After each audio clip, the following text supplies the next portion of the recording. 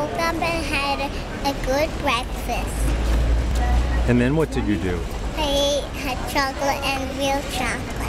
And then when you left the hotel, where did you go? Here. What's here? And let's pretend you're the director. Zengo, what did you do this morning at the Duomo? Um,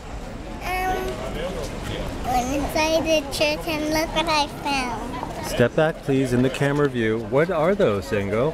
Crystal. Why do you have crystals? Because I found one for going up and down. You got crystals for climbing? How high did you climb? Really high, way up there. Should we take all the way up there? Wow, that's very high. Were your feet able to do it today?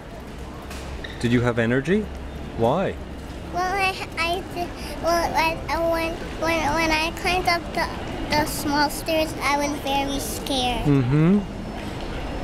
But what happened? Um, then I became unscared. Uh-huh. And I was, and, and caught me in my arms when I went down. And, and, and, um, and caught, Al, and I caught this eye for the crystal, and Alec caught this eye for the crystal. Uh-huh. Well, did you have a good morning? Excellente. And I slept for two hours. I slept person gave us breakfast. I slept for that hour. Then I woke up and cuddled with Alan. Excellent. Okay.